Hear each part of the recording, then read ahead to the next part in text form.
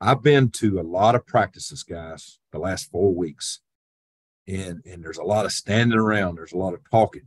Well, we do our talking in the meeting room. When we get on the field, we're working. We're doing drills. We're playing fast. And what we do at Georgia, we teach, we drill, we coach, and we demand effort. Okay. Some guys say, "Oh, I, I I'm not going to teach effort." Well, at Georgia, we teach effort because the standard is the standard. Right? There's a very high standard here. Um, I sort of set back the first couple of days of spring last year and tried to figure it out. I said, no, there's a standard that we're going to uphold. And those kids bought in, and it was unbelievable.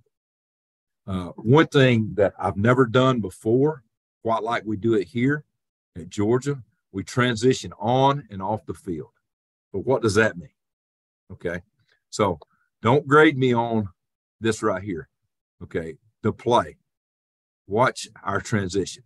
So right here, you're saying, okay, there's a lot of freaking standing around. Well, most time we do two spot at Georgia. Uh, we'll, we'll, the ones and threes will be on one field, the twos and fours will be on the other, and we're going. But when we do like our team run, we want everybody to see it. So we're all there. But if we want to practice fast and get as many reps in as we can at Georgia. So this group will go four plays. All right. This this is their fourth play. So they come off, and you see 22 guys working, right? And in the back, we don't tackle, or everybody's trying to get a strip, and and and we're running to the ball. Okay. We're running to the ball. Okay. So everybody's looking at this. What you don't realize is what's going on back here. Right. And I hope you can see what I'm circling here. Okay. So instead of just 22 guys practicing, there's freaking 44 guys practicing. So this last play's gone. We blow a horn. This group, how fast can you get set up?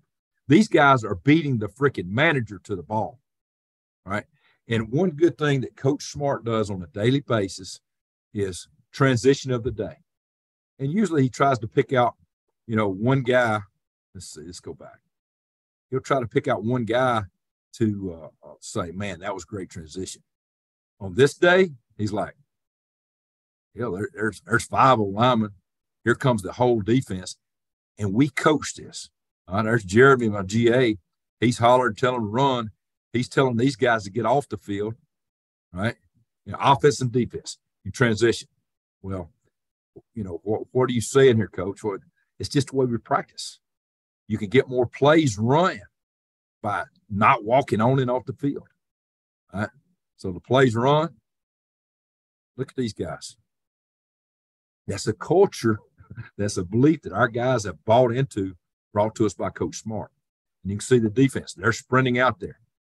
Uh, you can see coaches get them on, get them off the field. We don't stand around.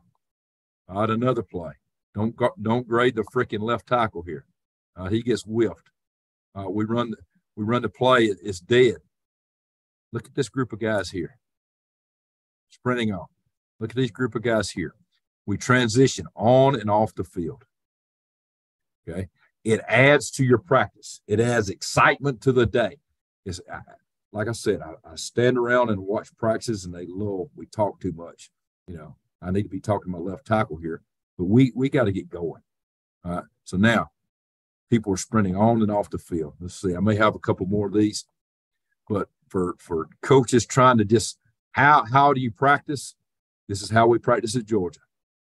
Okay, we run the play, it gets stopped. The next group is sprinting on the field, getting ready to go.